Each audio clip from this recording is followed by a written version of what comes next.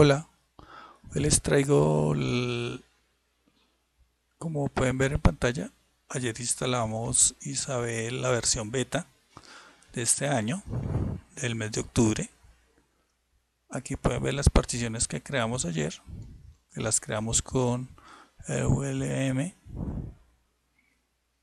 Eso es una gran ayuda para la administración en el servidor y tenemos instalado acá Asterix 16 ya tenemos registrada una extensión y vamos a hacer algunas pruebas. Vamos a marcar asterisco 43 para el ecotext a ver si nos responde bien. No tanto la voz del ecotest sino cuando termine el ecotest que nos podamos escuchar nosotros mismos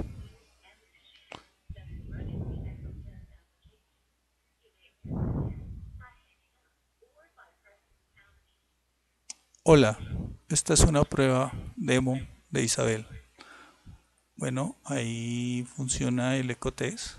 Vamos a llamar a, numera, eh, a marcar cuatro siete, que es que simula una troncal.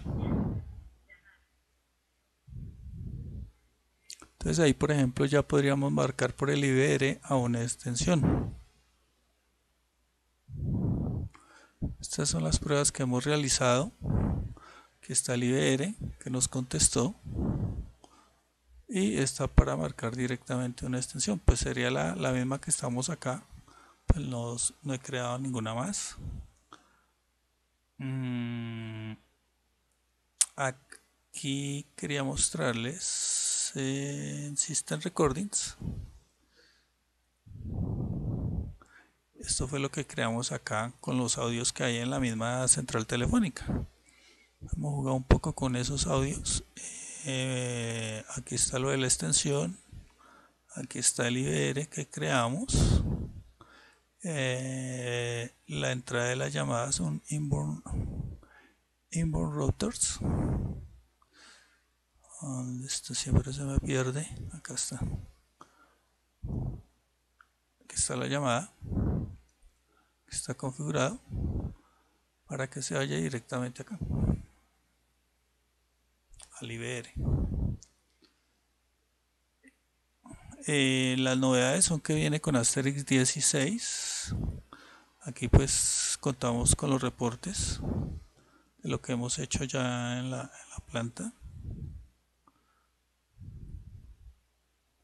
El Asterix Log eh, dentro de PV el operato panel pues que siempre viene con el operato panel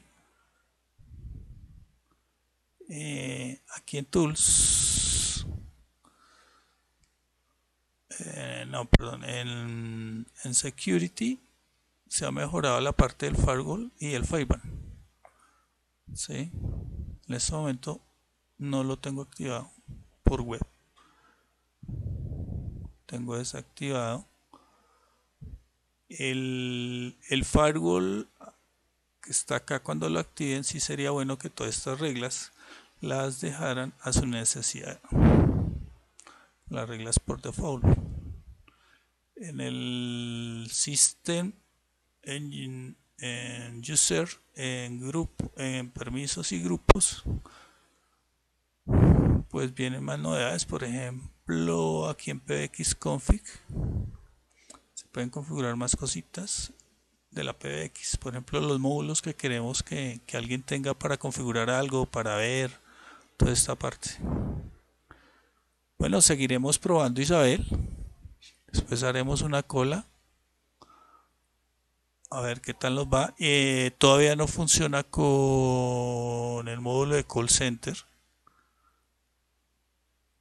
el módulo de call center solo funciona en Asterix 11. Bueno, aquí tenemos muchas cositas para probar, para, para mirar qué, qué más jugo le podemos sacar a todos estos menús que hay acá.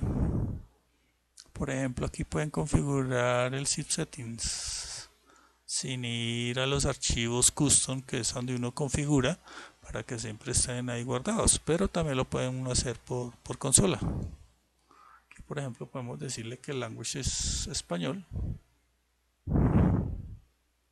salvamos. Y ya nos quedó configurado. Eh, aquí le aquí podemos decirle que el, el esto sea no. Ah, aquí está el no ambas cosas. Esto es de seguridad aquí está disable también. Pero también las, las podemos configurar eh, ponerle la IP cambiar el puerto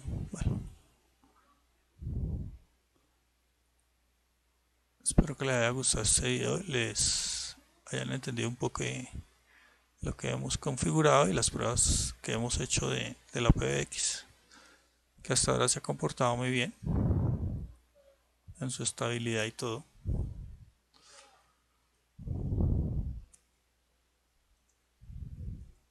Y esta es una PX que está virtualizada para hacer estas pruebas. Gracias.